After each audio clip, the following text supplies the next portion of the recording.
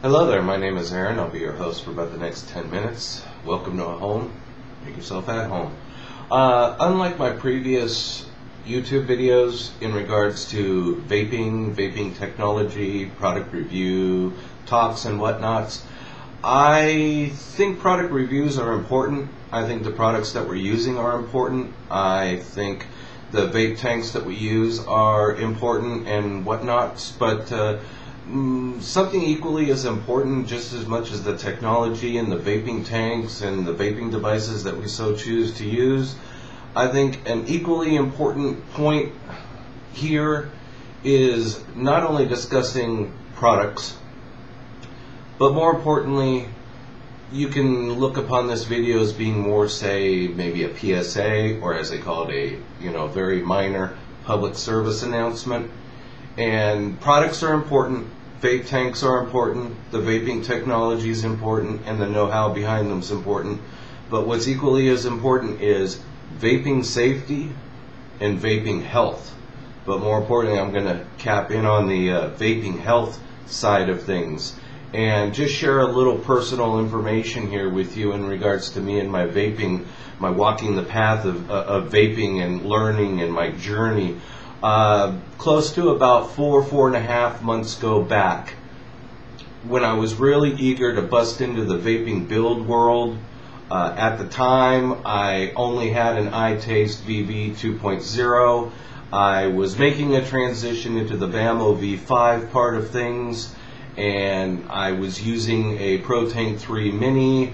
At the same time, I only had one uh, ProTank 2 clone, both taking Kanger heads, Kanger coils, and whatnots. And at the time, I was strictly solely buying from brick and mortars down the street, spending $11.99 for a five pack. Uh, at the time, I was busting into some social media groups, especially on G Plus and seeing people talk about rewicking, rebuilding coils. I didn't have all the money in the world at that time and kind of still don't, but uh, I wanted to bust in. And I tried a couple techniques. Originally, I was just cleaning coils with a soft bristle toothbrush and thinking, okay, th- that'll do. No, it, it didn't do that.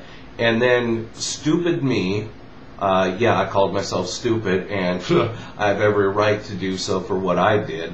Um, I chose to bust into the build world, re-wicking cleaned Kanger coils that came in my ProTank 2 coils uh, made by Kanger. I was simply removing the silica, using a soft bristle toothbrush, cleaning it off, getting the tops of them looking shiny again if I could.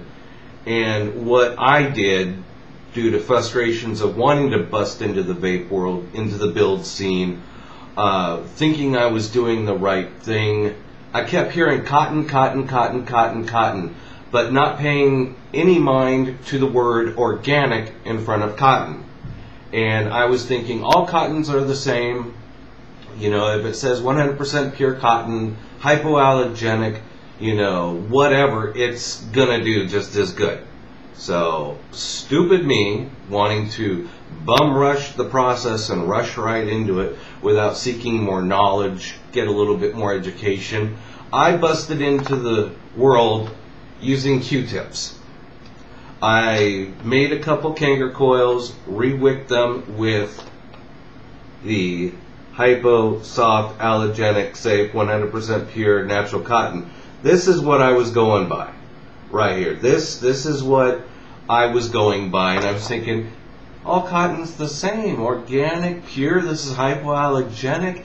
It's been medically designed to, you know, be pure for you. It's not going to hurt you. That you know, all, all, the powers that be that go into giving products the 100% pure, safe cotton stamp of approval. They've taken this into consideration. I'm in good hands. I got nothing to worry about.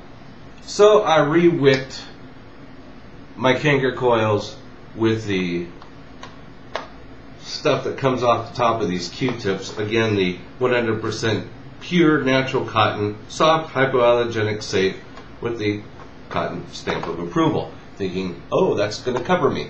Uh, rewicked them, saturated them, let them wake up for about 10 to 15 minutes. The pure hypoallergenic absorbs juice just like the organic. You couldn't tell one for the other due to absorption levels. So it was absorbing it, and I was seeing the little micro bubbles, and I was thinking, cool, I'm kind of busting into the build world here. I just rewicked some, uh, you know, stock Kanger heads. Um, wasn't the right thing to do. After sitting and wicking up for 10, 15 minutes, I took my first hit. At first, it was good. it, it, it was just as good as the Japanese organic that I learned to build with. Just as good, just as flavorful, just as wonderful for, oh, roughly say about the first 15 minutes of vaping. After about 15 minutes, I started to get a weird sandpapery feel in the back of my throat, associated then with a sandpaper feel in the top front of my throat. My tongue started to feel prickly and tingly. The roof of my mouth started to burn my sinus cavities in my nose began to stuff up, burn, prickly, tingly, sandpapery, and then started to congest. I was having tightness of chest, tightness of lung. My chest muscles were feeling very tight.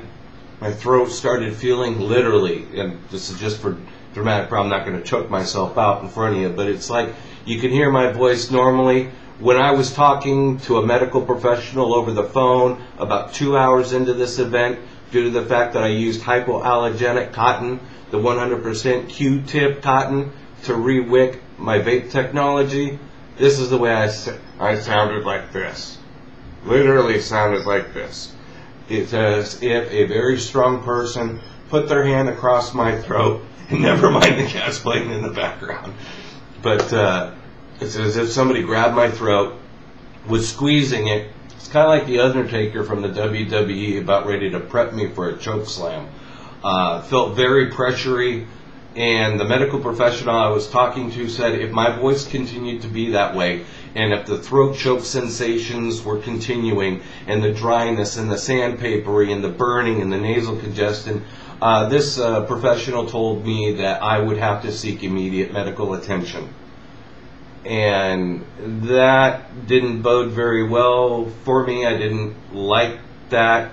And it all boiled down to I was advised by a non vaping person, a medical professional, uh, like a, a nurse's medical 1 800 hotline for after hours medical advice and care, knowing nothing about vaping.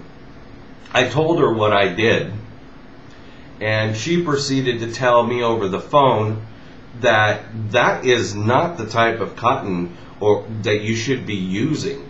Uh, that type of cotton that you just ingested the invisible vapors from the burning of that product is causing you medical complications right now.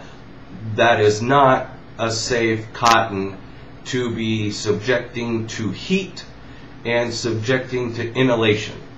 So, again, she didn't make any recommendations on what I should use. Again, she, she wasn't a vapor. Nurses Medical Hotline, not there to tell me what to vape on. But uh, let me know that these were bunk, bogus, should not be used, not designed for it, not designed for inhalation. Inhale some of this, 10, 15, 20 minutes down the road, you might, if you're equally as sensitive as I was, might have the same type of circumstances happen to you that happened to me. Uh, shortly thereafter, I talked to a person that's a friend of mine on social media uh, he's also a member of one of my vaping communities online for G Plus. Actually, help runs the place for me too uh, as a moderator, and he advised with a particular certain handful, a few others, that if I am going to rewick, start busting into the build world, I would want to do it with things like the Walgreens cotton. And the key word here is this one has a keyword of hypoallergenic. This one has the keyword organic. Not subject to processing in a hypoallergenic way. Not subject to dyes, chemicals, pesticides, herbicides, whatever else that might go in the earth that makes the cotton, you know, anti-acid manure sides. I mean, well, whatever you want to call it, it's pure, organic, safe, soft, luxurious, made with 100% pure cotton. Granted, the same thing that's on here, but the only thing that differentiates them is the organic word. So this is the Walgreens brand, their in-house brand of organic cotton balls, which you don't need to boil like certain other cotton balls out there, even certain organic ones out there. You don't need to boil these. You buy them, bring them home. It's a little bit more sloppy to build with than, say, an RBA to RDA uh, certified organic cotton squares. The squares are the preferred, they're the best. But these will do in a punch, in a pinch. yeah, pun- no, the only thing that punched, these punched me, and these gave me a respite breather. But uh, this is the type that you want. you want organic cotton. You do not want hypoallergenic. Again, medical review, you know, the, the medical line, no. I, I got punished for my eagerness to bust into the build world in vaping the wrong way, the uneducated way. This video is nothing more than an education. This video is also designed for the new entry level person. This, this video is not going to cater for the novice. This video is not going to cater to the intermediate. This video way definitely is not going to cater to the seasoned veteran. You all know this stuff. It's all old hat. But what this video is aimed towards is the entry level. The brand new person sitting there at their dining room table with a little bunch of Kanger coils, with a little bit of Q-tip, Q-tip hypoallergenic cotton, and wondering if this is going to work. The very first time this person, who this video is meant for, is thinking, should I build this? Should I do that? It, this is, I'm talking to the noob here. Noob, noob, nice to meet you. I want you to vape safe. More importantly, I want you to vape healthy.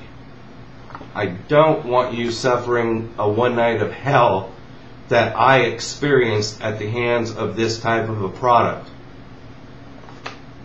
Q-tip, hypoallergenic, please don't use it. Walgreens Organic, use it. Every day of the week. Five ways come Sunday, you'll be just fine. Preferred though, almost industry standard for your inner novice, intermediate, and seasoned veteran builder in the vape world.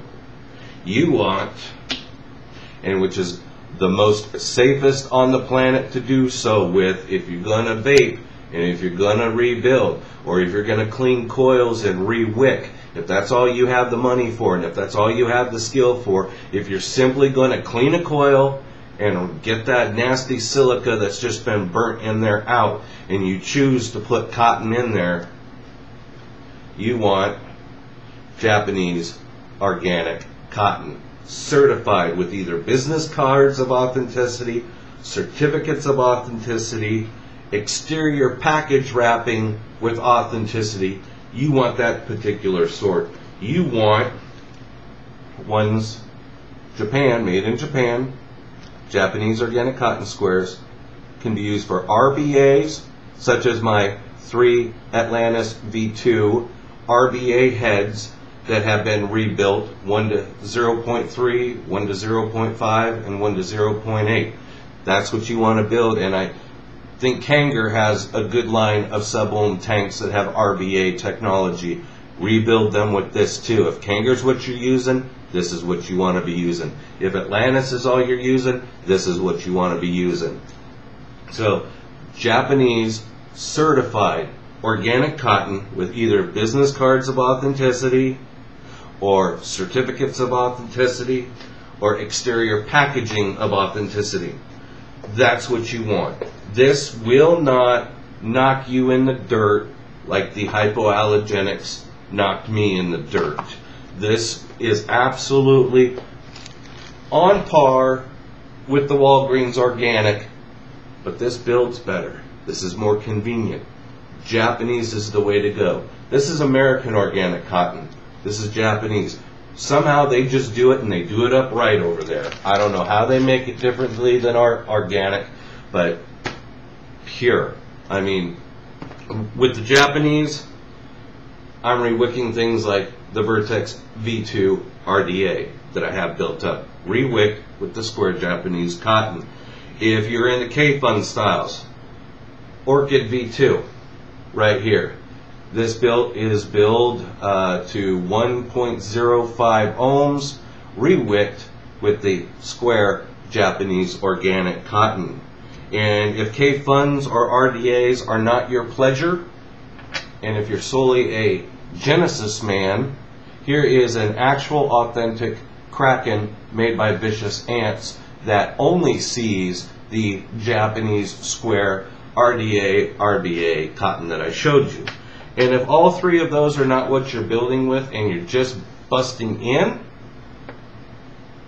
Pro-Tank 2 clone, V Pro City, Bay Area, accepts Kanger heads. These were the tanks that I was using at the time of my medical debacle, the, the, the night of hell. And uh, there was a Kanger head in there. I cleaned it, rewicked it with the hypoallergenic, and vaping on these same tanks put me into my medical quandary. So if this is what you're doing, if this is the level that you're at, like I, I was, do yourself a favor. Don't go to your medicine cabinet, grab this to rewick. Go to Walgreens first, and for about five bucks, you get a cotton, cotton uh, count of 80 balls, and then when you can afford it, again, this is only to the entry level, this is only to the noob. When you can afford it, go to the Japanese organic. Much more convenient, slightly better, slightly more healthy, but other than that, so I'm sorry this video ran so long. Sometimes my videos do, but I felt unlike having something to prove a point, like if I was doing a review about this, going, oh, I got one more thing to say, one more thing to say, and I'm thinking it's important, and you're sitting there going, why don't you just shut up, buddy? Well, I think this is the most important video I possibly could produce for you, and that is simply vaping safety, vaping health. Kind of a minor PSA going on, public service announcement.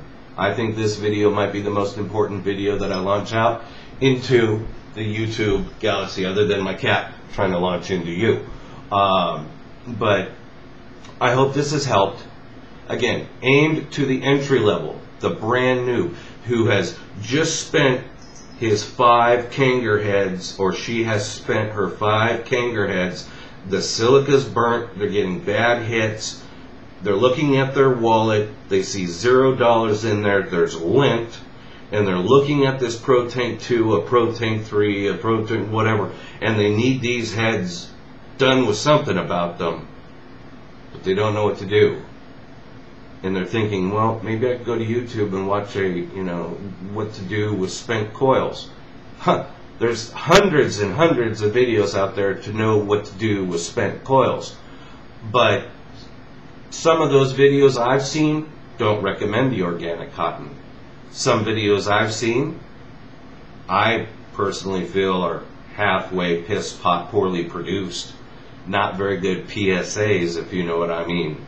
But, uh, this is just designed for the person, male or female, sitting at the dining room table, frustrated, no dollars in the wallet, spent Kanger heads on the table, you got a Pro-Tank 2 and you got some juice and you want to vape and you're nicking. If all you can do is clean your coil with a soft bristle toothbrush, do so. Be sure to don't bend it. Do it soft and gentle until it becomes shiny on the top. Do not go to your medicine cabinet and use hypoallergenic Q-tips bust off little shards of that, whittle it up, feed it through, pop the top chimney back on, and you're vaping. No. You will be vaping. But you might not be vaping for long because your throat might become so closed off that the vapor produced off your tank might not reach your lungs. And uh, I don't want to see anything bad happen to you. I don't. It was hell night for me about five months back. I don't want it to be hell night for you. So that's why I do it. And uh, I hope you got something from this. I'll start up with my usual product reviews after this one's been produced. But I think our vaping safety and vaping health is more important than me pointing out anything any product on the planet can do. Thank you very much for your time. Thank you for allowing me the time in your life to come into your life long enough to uh, express my concerns about vaping safety and vaping health. And uh, with that, I'll bid you adieu. Wherever you're watching this day or night, hope you're having a good day or night or whatever what time it is for you. And uh, keep the faith, keep on vaping, but let's do it safe. Take them on easy. Bye bye.